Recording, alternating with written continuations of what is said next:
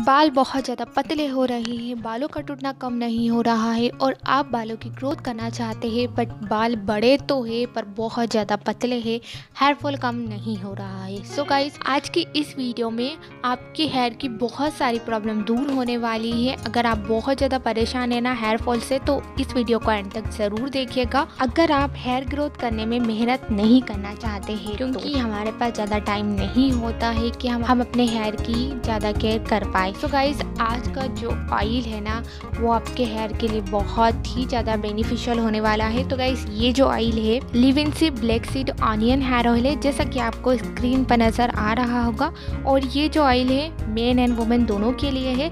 इस प्रोडक्ट की हम पैकेजिंग की बात करें तो ये बॉटल में आता है साथ में आपको एप्लीकेटर भी मिलेगा ताकि आप आसानी से ऑयल को स्कैल्प पर लगा इस प्रोडक्ट की पैकेजिंग ट्रेवल फ्रेंडली है आप इस प्रोडक्ट को बैग में भी कैरी कर सकते हैं। अब बात करते हैं इस प्रोडक्ट के इंग्रेडिएंट्स की, क्योंकि इंग्रेडिएंट्स ही मेन होते हैं हमारे हेयर के लिए। अच्छे इंग्रेडिएंट्स होंगे, तभी हमें बहुत अच्छा रिज़ल्ट मिलने वाला है। तो फ़र्स्ट इंग्रेडिएंट्स है हबिस्कस ऑयल हबिस्कस ऑयल के हम बेनिफिट की बात करें हेयर के लिए तो बालों के टूटने को कम करता है, बालों को हेल्दी बनाता है, और अगर कम उम्र में ही बाल सफ़ेद हो रहे हैं तो बालों को काला भी करता है। जो सेकेंड इंग्रेडिएंट्स है, वो है Moroccan argan oil Moroccan argan oil तो ये ऑयल हेयर को मॉइस्चराइज करता है, स्कैल्प को डैमेज होने से बचाता है, स्कैल्प को हेल्दी बनाए रखता है और हेयर फॉल बहुत ज़्यादा होता है तो Moroccan argan oil hair fall को कंट्रोल करता है स्प्लिट एंड्स की प्रॉब्लम को भी दूर करता है, यानी कि दो मुहे बालों की प्रॉब्लम को दूर करता है। अब जो थर्ड इंग्रेडिएंट्स है, वो है भ्रंगराज ऑयल भ्रंगराज ऑयल के हम बेनिफिट की बात करें तो डेंड्रफ की प्रॉब्लम को कम करता है हेयर ग्रोथ करता है और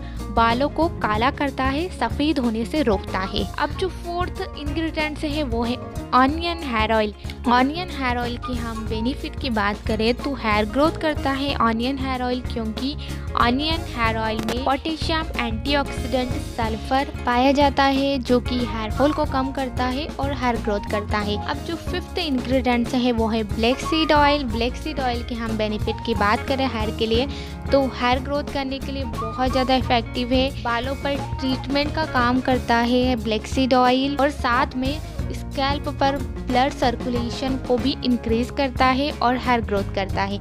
और सिक्स इंग्रेडिएंट्स है, वो है ऑलिव ऑयल ऑलिव ऑयल की हम बेनिफिट की बात करें हेयर के लिए तो बालों में चमक लाता है और बालों को स्मूथ बनाता है। अगर आपके बाल बहुत ज़्यादा डैमेज नज़र आते हैं ड्राई ड्राई नज़र आते हैं तो ऑलिव ऑयल बालों की ड्राइनेस को बहुत ही कम कर देता है और बालों को ब्यूटीफुल बनाने के लिए बहुत ज़्यादा इफ़ेक्टिव इसमें सेवन्थ जो इंग्रेडिएंट्स है वो है कास्टर ऑयल कास्टर ऑयल के हम बेनिफिट की बात करें तो बालों को स्ट्रॉन्ग बनाने के लिए हेयर फॉल को कंट्रोल करने के लिए बालों में चमक लाने के लिए बहुत ज़्यादा इफ़ेक्टिव है। और लास्ट इंग्रेडिएंट्स है स्वीट आमंड ऑयल जो कि हेयर को स्ट्रॉन्ग बनाता है डैमेज हेयर को रिपेयर करता है। इसमें वाइटामिन ई होता है जो कि हमारे बालों को मॉइस्चर भी करता है। और साथ में ही हमारे बालों की ग्रोथ भी करता है। सो so गाइस ये सारे इंग्रेडिएंट्स हमारे बालों के लिए बहुत ज़्यादा इफ़ेक्टिव है।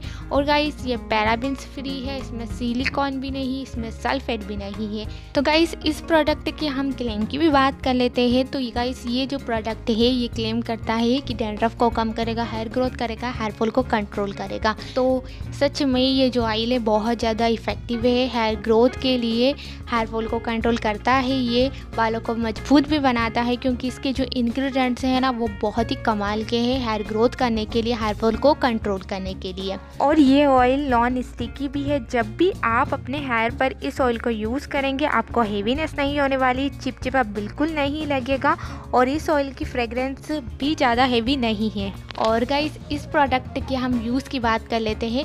इसे कैसे यूज़ करना है? क्योंकि अगर हम सही तरीके से यूज़ करेंगे, तभी ही हमें बहुत अच्छा रिज़ल्ट मिलने वाला है। तो यूज़ करने का तरीका ये है सबसे पहले आपको हेयर वॉश करना है। हेयर वॉश करने के बाद आपको हेयर ट्रिमिंग भी करना है, क्योंकि अगर आपके दो मुँह बाल होंगे तो फिर आपकी हेयर ग्रोथ नहीं होगी। जब भी हम हेयर लेंथ कट करते हैं तो उससे सारे दो मुँह बाल कट जाते हैं।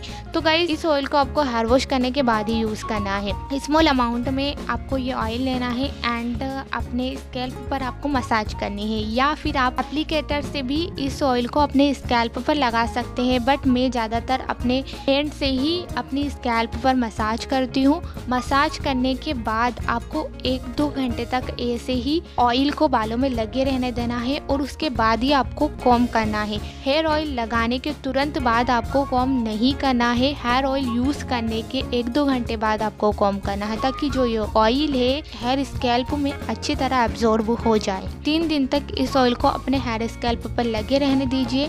तीन दिन बाद आप माइल्ड शैम्पू से हेयर को वॉश कर लीजिए। ऐसा नहीं कि सिर्फ़ रात में इस ऑयल को आपको लगाना है और सेकेंड डे हेयर वॉश कर लेना है। ऐसा नहीं करना है आपको। हेयर वॉश करने के बाद ऑयल को यूज़ करना है और तीन दिन तक अपने हेयर स्कैल्प पर इस ऑयल को आपको लगे रहने देना है और डेली आपको मसाज करनी है। ज़रूरी नहीं है कि आप ऑयल का यूज़ करें, आप ऐसे ही अपनी स्कैल्प पर मसाज कर सकते हैं। आपको बहुत जल्दी ही अच्छा रिज़ल्ट मिलेगा। तीन हफ्तों में ही आपका हेयर फॉल कम होगा और बालों में चमक भी आएगी, आपके बाल बहुत ज़्यादा ब्यूटीफुल भी नज़र आएँगे। सो so गाइस अब बात करते हैं इस ऑयल की प्राइस की। तो ये oil 100 M L three hundred nine rupees का आता है। इस ऑयल को मैंने ऑनलाइन परचेज किया था, जो कि मुझे डिस्काउंट में मिला था ये ऑयल तो आप इस ऑयल को ऑनलाइन परचेस कर सकते हैं या फिर लोकल कॉस्मेटिक स्टोर से परचेस कर सकते हैं। हो सकता है कि आप जहाँ से इस ऑयल को परचेस करें इस ऑयल की प्राइस कम हो सकती है या फिर ज़्यादा भी हो सकती है। सो so गाइस अगर आपका कोई भी क्वेश्चन है तो प्लीज़ कॉमेंट कीजिए और चैनल को सब्सक्राइब करना बिल्कुल भी ना भूलें। मैं आपके लिए ऐसी ही वीडियोस लाती रहूँगी। तो मिलते हैं नेक्स्ट वीडियो में। Bye bye